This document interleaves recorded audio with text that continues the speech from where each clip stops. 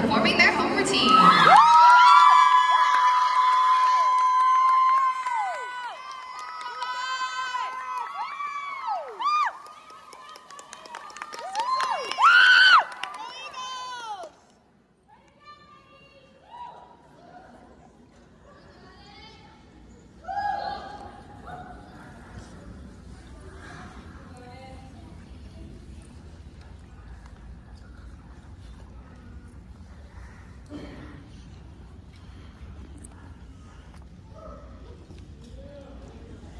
Good luck, dancers. Your music is on.